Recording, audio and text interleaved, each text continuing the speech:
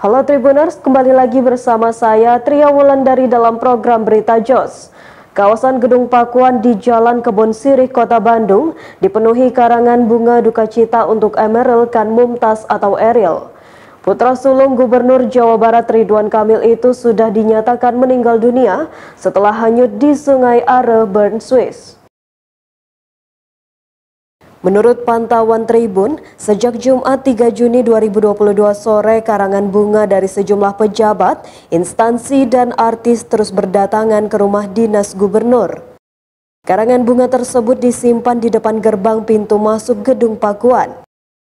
Hingga saat ini jumlahnya terus bertambah, hampir mengelilingi seluruh area gedung Pakuan. Warga sekitar dan yang melintas pun sempat berhenti sejenak menyaksikan dan berfoto di barisan karangan bunga. Selain karangan bunga, warga sekitar juga turut menempelkan bunga disertai foto Eril di pagar gedung Pakuan. Teguh salah satu warga mengaku sengaja memasang bunga dengan foto Eril sebagai bentuk simpati. Ridwan Kamil bersama istri dan anaknya tiba di Gedung Pakuan pada malam tadi.